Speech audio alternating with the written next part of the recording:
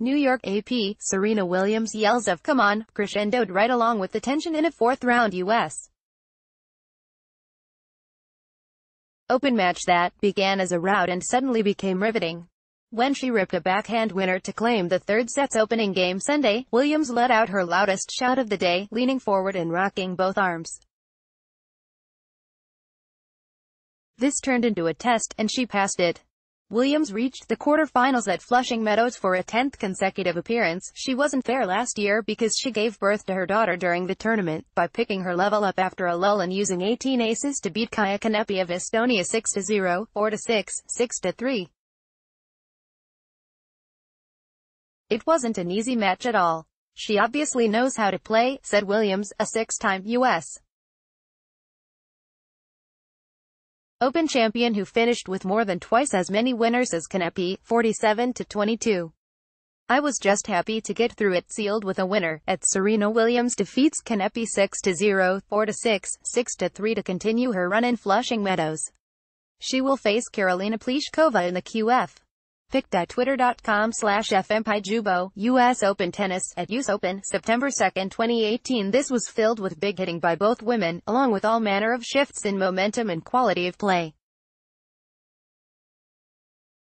In the 18-minute shutout of the first set, Kanepi was tight and Williams was pretty much perfect, grabbing 24 of 30 points. But after compiling 14 winners and only two unforced errors in that set, Williams began making mistakes, becoming less and less comfortable as Kanepi grew increasingly so. Kanepi is ranked only 44th but she's been a top 20 player in the past and has made it to Grand Slam quarterfinals a half dozen times. Sure, that's nothing compared to Williams' 23 major titles, but it's something. Plus, it's worth remembering this, Kanepi eliminated number one Simona Halep on day one of this tournament.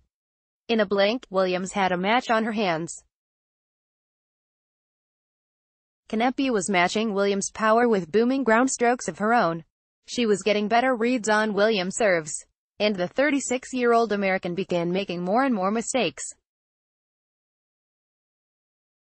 When Williams shanked a backhand return of a 103 miles per hour serve, the match was a little more than an hour old, and it was all tied at a set apiece. That was the first set she had lost against Kanepi of the 10 they'd played to that point, and the first set Williams had lost at the 2018 U.S. Open, a run that included a 6-1, 6-2 victory over her older sister Venus in the third round Friday night. After that scream-inspiring hold to begin the final set, Williams broke right away to lead 2-0. She then faced a breakpoint, but Kanepi wasted that chance by sending a backhand wide. From there, Williams smacked an ace at 118 miles per hour, followed by a service winner at 113 miles per hour to go up 3-0, and that essentially was that. Next comes a quarterfinal against 2016 runner-up Karolina Pliskova, who beat Williams in the U.S.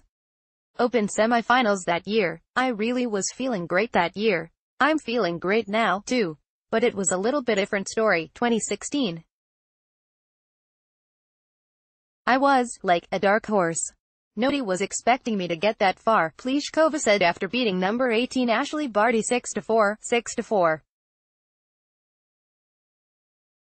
I know she was the best at that time, but I just wanted to win. So that's why I won, because I believed I have a chance, the number 8 seeded Pliskova said. I have a game to beat her. In men's action, defending champion Rafael Nadal reached his fourth Grand Slam quarterfinal of the season, and 36th of his career, by getting past Nicolas Basilashvili 6-3, 6-3, 6-7, 6, 6-4. Now is the moment to make the next step, step forward, play more aggressive. I did a lot of things well during the whole season. It, it is the moment to make it happen again, said the no. One-ranked Nadal, who has won 26 of his past 27 matches. I hope to be ready to make that happen. He gets two days rest before taking on no. 9 Dominic Thiem for a semi-final berth in what will be rematch of this year's French Open final, which Nadal won in straight sets. Thiem prevented a rematch of last year's U.S. Open final by eliminating 2017 runner-up and number 5 seed Kevin Anderson 7-5, 6-2, 7-6, 2.